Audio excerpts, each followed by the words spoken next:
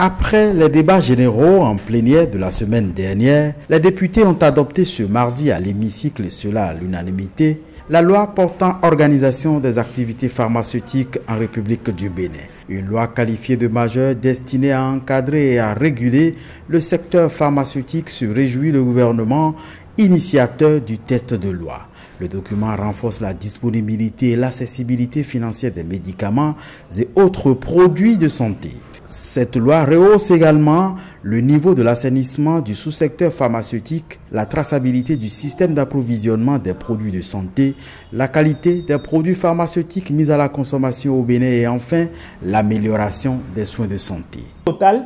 cette nouvelle loi sur l'organisation des activités pharmaceutiques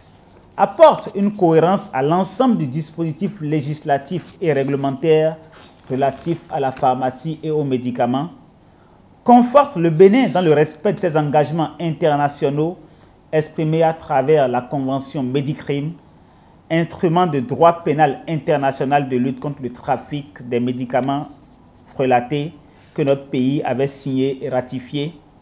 permet enfin de renforcer la crédibilité de notre pays vis-à-vis -vis de la communauté internationale, régionale et sous-régionale au regard des nouvelles exigences en matière de régulation des produits de santé.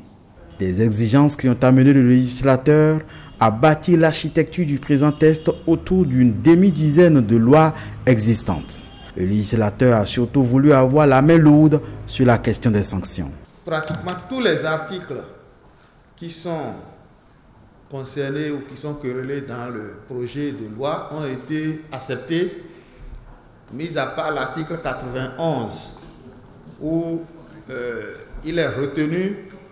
que le contenu de cet article soit modifié de manière à porter le plafond de la peine d'emprisonnement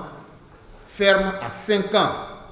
Ainsi donc, pour des manquements à certaines dispositions de la présente loi, le contrevenant s'expose à une peine d'emprisonnement allant d'un an à 5 ans et peut se voir infliger des amendes à hauteur de plusieurs millions de francs CFA.